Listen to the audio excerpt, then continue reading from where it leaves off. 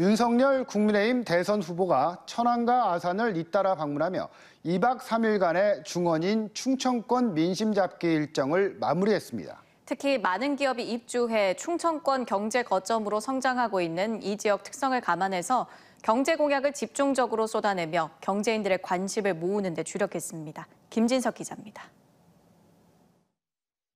윤석열 국민의힘 대선 후보가 충청권 마지막 일정으로 천안 독립기념관을 방문했습니다. 독립운동에 헌신한 순국선열의 이름을 하나하나 거론하며 항일 독립정신이 우리 헌법의 근간이라고 강조했습니다. 이어 최근 논란이 일었던 최저임금제와 주 52시간제와 관련해 영세 중소기업 운영에 많은 장애를 주고 있다는 경제 현장의 목소리를 많이 듣고 있다며 대대적 손질을 예고했습니다. 향후 차기 정부를 담당하게 되면 이런 현장의 목소리를 어, 잘 반영한 정책을 입안하겠다 어, 이런 말씀을 드린 것입니다. 또 이준석 대표의 당무 거부 사태와 관련해서는 의견 차가 있을 수 있다며 이 대표가 복귀하는 대로 대화를 나누겠다고 밝혔습니다.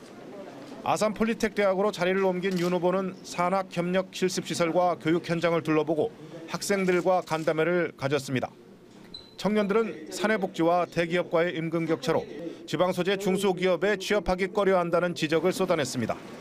이에 대해 윤 후보는 근로자들이 대기업과 중소기업 간에 큰 차이를 느끼지 못하도록 국가 차원의 계속 투자를 약속했습니다.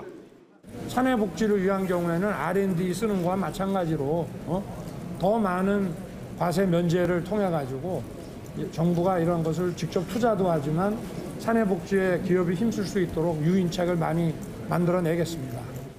천안 충남 북부 상공회의소에서는 경제계 이슈인 중대재해처벌법과 관련해 기업인들의 경영 의지를 축소시키는 법안이라는 입장을 밝혔습니다.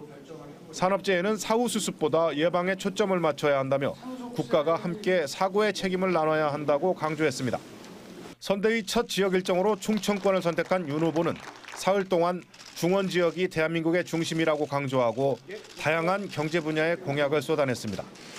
또 이번 충청권 방문이 중원과 미래, 청년이라는 주제로 진행된 만큼 충청권과 교감하는 계기가 됐다고 자평했습니다. TJB 김진석입니다.